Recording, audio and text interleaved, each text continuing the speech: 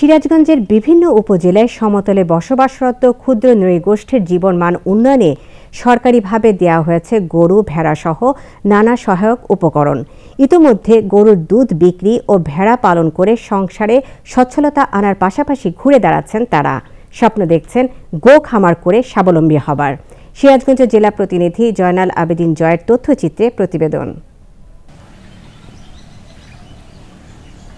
সিরাজগঞ্জের তারাস উপজেলার দবিলা গ্রামের ক্ষুদ্র নৃগোষ্ঠীর বৃদ্ধ বিধবা নারী অরুণা মাধবীরানী কল্পনা আইন।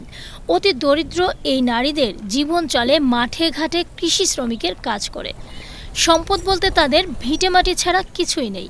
পিছিয়ে পড়া এই নারীদের অর্থনৈতিকভাবে স্বাবলম্বী করতে সরকার প্রাণী সম্পদ বিভাগ থেকে বকনা গরু ও ভেড়া সহ দিয়েছে নানা উপকরণ। বাকিরাও তাদের গরু আর ভেড়া লালন পালন করে খামারের পরিধি বাড়িয়ে অর্থনৈতিকভাবে স্বাবলম্বী হবার স্বপ্ন দেখছেন।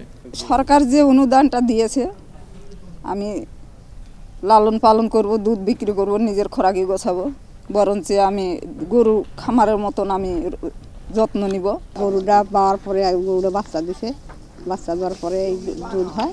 এই দুধটা নিয়েই বিক্রি করি আর নিজে চলি। সরকার থেকে দুইটা ভেড়া দিছে এটা লালন পালন করতেছি। যখন আমি মাঠে যাই তখন মাঠে নিয়ে যাই আবার যখন বাড়িতে আসি তখন নিয়ে আসি। এই সম্প্রদায়ের পুরুষরাও স্বাবলম্বী হচ্ছে গরু লালন পালনে। সরকারি অনুদানের গরু পালন করে দিন মজুরি থেকে বেরিয়ে আসছেন তারা। আমার মতন একটা ক্ষুদ্র নিগোষ্ঠীকে একটা ভবিষ্যৎ স্বাবলম্বী হওয়ার যে আমাকে একটা সুযোগ সুবিধা দিচ্ছে সেই জন্য সরকারকে ধন্যবাদ জানাচ্ছি। যখন গরুটা দিছিল সে সময় বক না এখন গরুটা আবার গর্ভবতী আছে।